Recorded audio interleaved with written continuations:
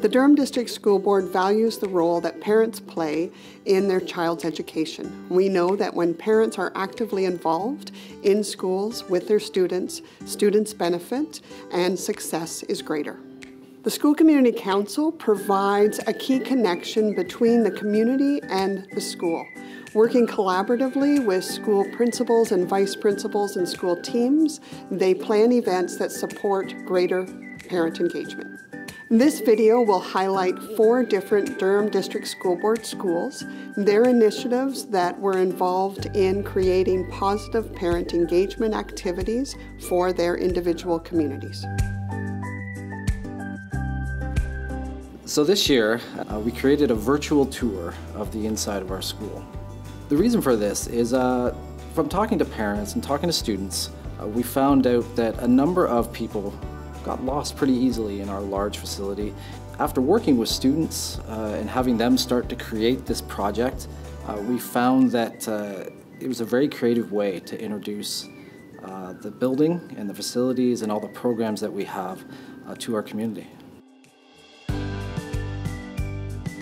So one of the things we did uh, in our planning process was we asked the students uh, who are currently at Uxbridge what uh, types of things they would like to see uh, if they were going to pursue this 3D tour. And they mentioned a number of key areas around the building, and then we actually sent them out with the camera and the equipment to capture these moments around the school. And when they actually first saw the 3D tour uh, on a desktop computer and they were actually navigating their way around the school, a huddle of students started coming over because they were very excited at what they were seeing and they remarked at how handy this would have been for them and how it would have probably um, served them very well coming from their feeder schools into our high school. The activity that we've planned uh, this school year in my class is allowing students to speak in their own language during collaborative activities. Now they're allowed to do this not all the time, but they're allowed to do this when they're finding it difficult to understand a concept that has been taught. Uh, we most recently had our EQAO night for parents of grade 3 and grade 6 students, and that came out of conversations with parents in the fall Meet the Teacher night. Um, parents um, had concerns or questions about the, um, the actual EQAO process and how it is we are supporting our students to be successful. And um, it was well attended. We had it here in our library, and then we had breakout sessions for the parents in the grade 3 and grade 6 classrooms.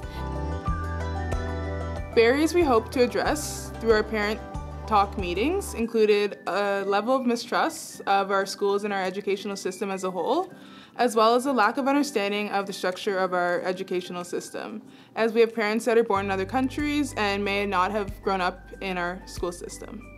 There's also um, parents who are making assumptions uh, based on their lived experience with the education system from years past. And education has come quite a ways um, last 5, 10, 15 years. Um, so it's also um, making parents aware of the opportunities and programs and access that's available for their students that perhaps was not present when they were in, um, in school. So last, I think it was in January, we had a Tamil Heritage celebration event. Uh, Densa chose Terry Fox to host the uh, performance in the evening. We had um, workshops with the grade three students of Terry Fox. Uh, you know, some of the grade eight students came down and they were teaching them how to draw, write the alphabets, Tamil alphabets, and all the kids enjoyed it.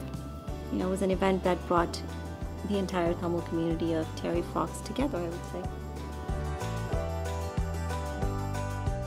As we get to know our community um, and engage their voices, we do learn some of the things that maybe our teachers wouldn't anticipate or we wouldn't be familiar with in terms of obstacles.